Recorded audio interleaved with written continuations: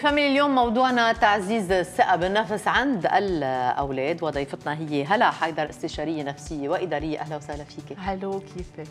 هالثقة بالنفس يلي هي هاجس عند الأهل لحتى لي فعلا الولد يكون قادر بوقت من الأوقات يصير عم يتكل على حاله. هلا نحن عادة الأهل تيخلوا أولادهم يكون عندهم ثقة بنفسهم بيصيروا عم يعملولن compliment ات كل الوقت. يعني أيوه وعم يدبشون عمول هيك وسوي هيك. بس شو هي أول شيء الثقة بالنفس؟ أوكي. وكيف كيف نترجمها كيف نفسرها؟ الثقة بالنفس هي إحساس أو شعور الإنسان بقيمته ومعرفته لقدراته الذاتية سواء أمام نفسه أو أمام الآخرين. والثقة بالنفس هون بتترجم بتصرفاته سلوكه آرائه وحتى حكيه مع الناس ببين إذا هذا الشخص عنده ثقة بالنفس أو عنده نقص ثقة بالنفس. بس يعني في حدود بين الثقه بالنفس وبين الوقاحه الوقاحه يلي الأهل كمان بيجربوا إنه يحافظوا على هال équilibre. Okay ويلي منه هين. لا منه هين. في شعره بيناتهم. وهون بيلعب الأهل بيلعبوا دور كثير مهم بتنشئته وتربيته لهذا الطفل لحتى لي نعرف إذا عنده الثقه بالنفس ولا وقاحه يعني فينا نحن نحطه بإطار لا هيدا الثقه بالنفس وفينا نعلمه الفرق بيناتهم اثنيناتهم.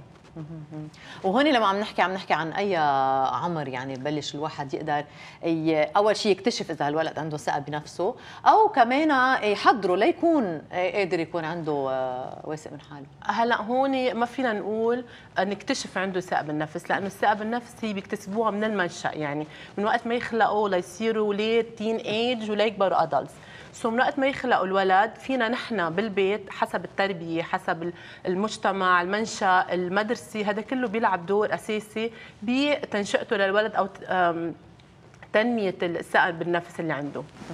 بس من أول ما يخلق أول ما يخلق الولد شو هي الظروف المحيطة أو شو هي الظروف بالعائلة أو بالبيت اللي رح تكون عم بتخليه مرتاح؟ آه عم تخليه حاسس حاله بقيمته الذاتية اللي كنت عم تحكي عنها هلا هون الأهل بيلعبوا دور in terms of الدليل الزائد ما يكون في دليل زايد. وما يكون في over protectivity للولد.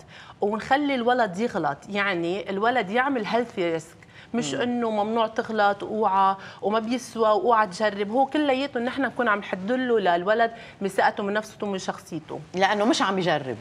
لأنه مش عم يجرب ونحن ما عم نخليه عم تكون كثير over protective أو كثير عم ندلل أو كثير بنخاف واوعى وما تجرب. هذا بينعكس على الولد بالمدرسة. هون المدرسة تلعب دور بتعزيز الثقة بالنفس عند الولد أو تنقيصها. يعني إذا نحن أهملنا طفل على طفل أو فضلنا حدا على حدا أو خاصة peer pressure أو bullying اللي بصير بالمدرسة يعني ولد يقول للثاني انت ما بتفهم عود أو مش مزبوط اللي عم بتقوله. هذا كله عليه. هذا كله الولد بيرجع بينه وبين حاله بيقول مزبوط يمكن أنا مني good enough لأطلع أحكي أو شيء مع إنه إذا بناخذ نحن ولدين بنفس الصف يمكن اثنيناتهم يكونوا أذكياء وعندهم اثنيناتهم نفس الأجوبة الصح.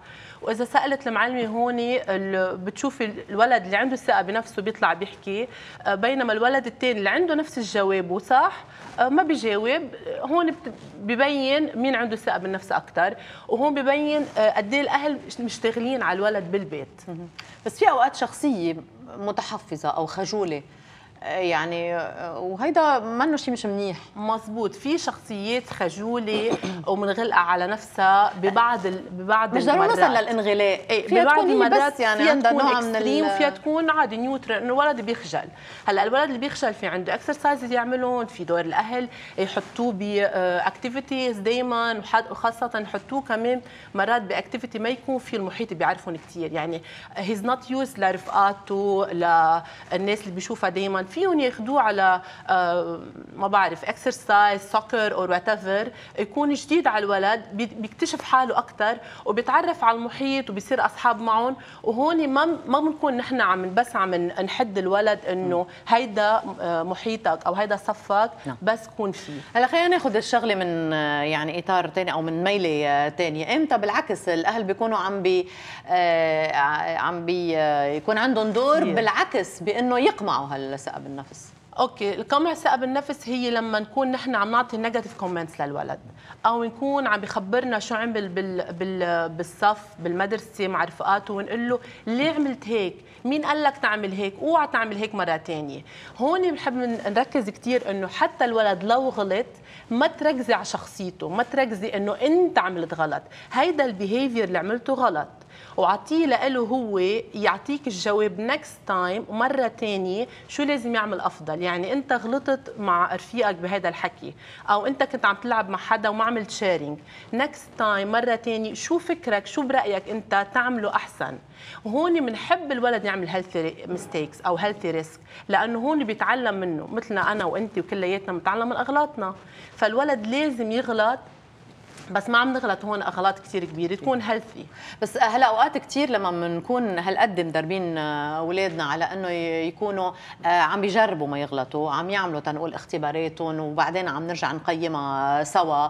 يعني ممكن عم نكون صحيين قد ما فينا قد ما بنقدر. بيرجع بيتواجه بالمدرسة مع غير أولاد ما بيكون عندهم نفس الطريق. وبحسون إنه لأنهم بيعيدوا حساباتهم هالولاد الآخرين بفكرون ضعاف. No لا. هون نحن بده آه، بيجي يدخل دور ال counselor أو المدرسة آه، مع الأهل. يعني الأهل بياخذوا موعد من ال counselor بالمدرسة وبيحكوا معها بيقولوا لها شو عم بيصير معه هذا الولد. آه، هون بنكون نحن عم نلعب كثير دور إيجابي مع الولد الثاني يعني الولد الثاني لما يبعث ورا أهله ونحكي معهم يمكن الأهل ما كانوا عارفين أو ما خاطر بالهم ابنهم عم بيعمل هيك بالمدرسة. هون نحن بنكون عم نلعب دور كثير إيجابي مع الولد الثاني هيك يعني قد ما فينا بنكون نحن عم نساعد ولدنا وعم نساعد أولاد الثانيين ليتحسنوا آه، يكونوا أفضل بالحياة وبالمجتمع آه، بما إنه عم نحكي عن المدرسة الولد بيقضي معظم وقته بالمدرسة بعمر معين أكثر بكثير ما بيقعد آه، بالبيت. بالبيت حتى بأيام الفرص ممكن يكون عنده اكتيفيتيز بالمدرسة ويكون موجود مزبوط. مع الكميه الكبيرة من الشباب والصبايا الصغار يلي من عمره مزبوط. المدرسة هون كيف بدها تكون قادرة إنه تحيط هالأولاد هون depends على المدرسة شو ال يعني شو قانونها بالمدرسة شو ال policies لها هن كيف against bullying شو بيتخ شو بيعملوا؟ يعني في في مدارس كثير كل شهر وشهرين بيقعدوا بيحكوا مع الأولاد وبفهمون إنه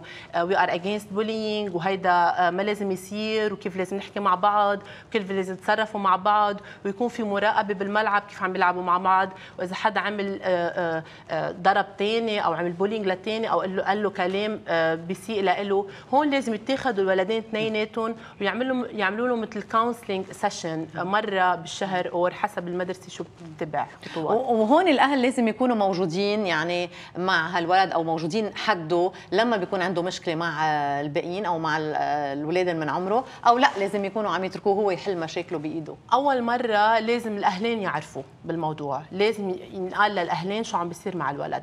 and then لحاله الولدين اثنيناتهم بيكونوا مع ال counselor آه وبيحلوا مشاكلهم. هون الولد بيتعود شوي وبيتعلم إنه إذا عنده مشكلة لازم هو يحلها. إذا المواجهه يعني ضرورية. أكيد ما لازم نحن نرجع للأم أو البي أو ندق لهم تليفون ليجوا. وهون شيء كثير مهم ذكرتيه إنه لازم نعلم الولد ونفهم الولد إنه مش إمتى ما صار معك شيء أنا بدي إجي أنا بدي أتدخل.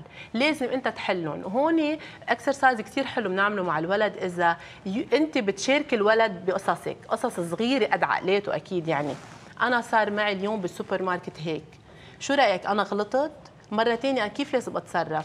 هون عم بتعززي له ثقته الولد بنفسه إنه أنت ال adult الأم عم توثقي بولد عمره 10 8 9 years old وهو عم بيقول لك رأيه فيكي. هيدي كثير بتلعب دور أساسي بثقة الولد. مشان هيك نحن دائما بنركز وبنقول please الأهل يكونوا موجودين مع الأولاد يكون عندهم ال communication معهم لأنه ال communication is the best skill لهم إنه يكونوا لكن في آه، أخذ وعطى مع الولد إنه يكون عم يرجع على البيت يخبر شو عم يصير معه بالمدرسة كمان شغلة كثير مهمة. هلا حيدر استشاريه نفسية وإدارية شكرا لوجودك معنا. ناخذ وقفة هلا بنشوف شو عم يصير بالبلد وبنرجع شو عم بيصير